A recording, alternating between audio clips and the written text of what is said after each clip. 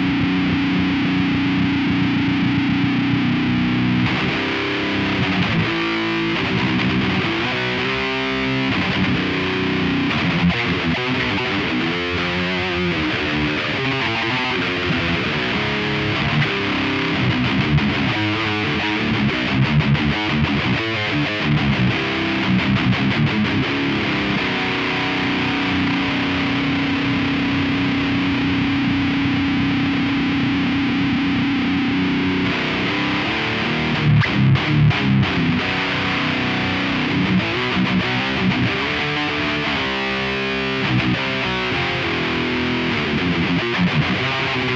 right back.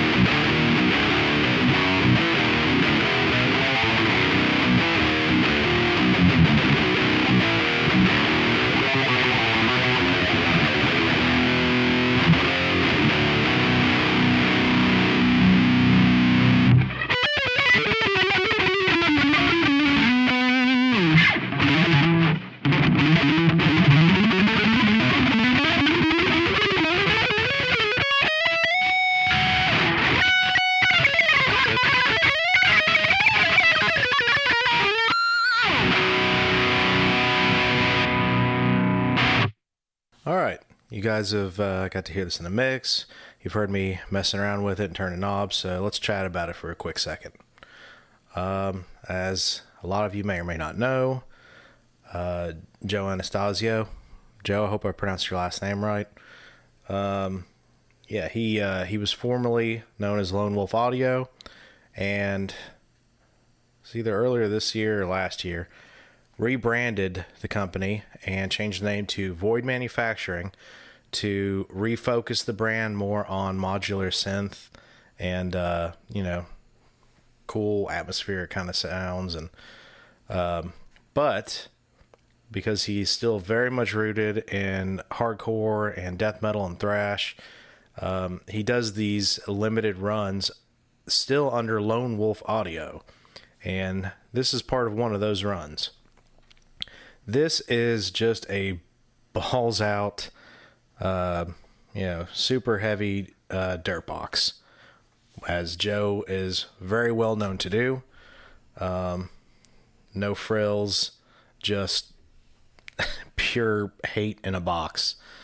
Uh, as you can tell by the really awesome blood splatter graphic.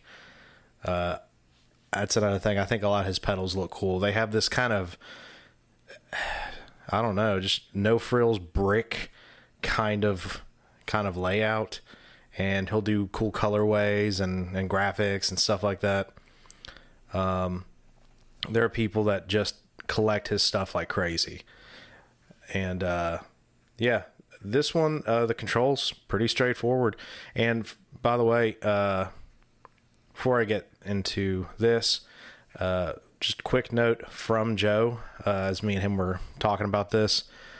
Um, this was designed, uh, which I, I did not, you know, run this the way it was designed.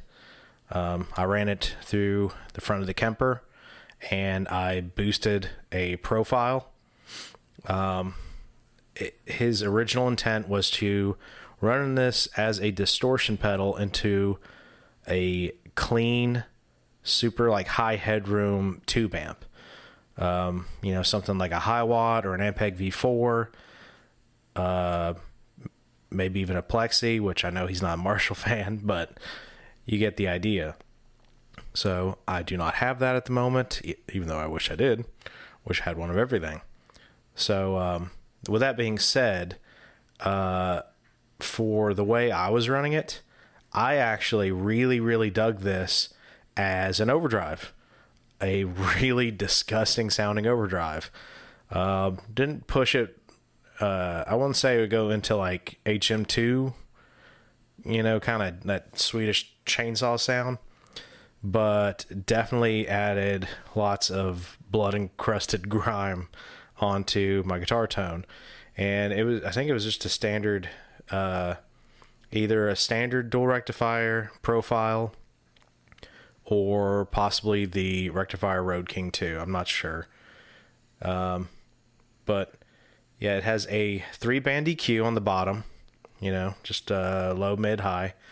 A volume and gain control, which you can see the volume has a lot of headroom.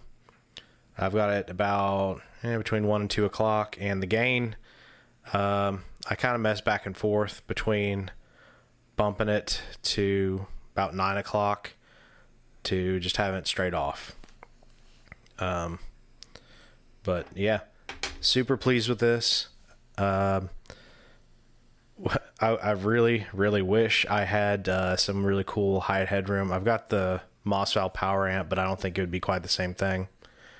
Um, if you have sort of a pedal platform kind of amp, like um, either a Sovtek or Electro-Harmonix uh, MIG like 50 or something, or an old Ampeg V4, or any kind of classic, you know, uh, Class A tube, single channel tube amp, lots of headroom, clean headroom. Uh, this would be a really, really sick distortion base for your overall tone. Uh, or if you just want a really balls out, over the top uh, kind of overdrive to maybe you've got a pretty compressed, very, very tight sounding amp and you're going for something, you know, uh, slightly looser, a little, you know, a little nastier, you know, let's say you've got, um, I don't, I don't know, some kind of Engl or on a cheaper end, something like a Blackstar or maybe something really dry like a VHT Pitbull. And you're just wanting to saturate and get some of that fizz, uh, the top end and kind of that, gr- that just snarl in the low mids. Uh, this is definitely the pedal for that. So, and uh, Joe did not send me this. I purchased purchased this on my own money. Uh, super pleased with this. So yeah, I fully recommend. Not endorsed. This is just my own opinion. Uh, so thank you all for checking this out, and we will see you next time. Bye.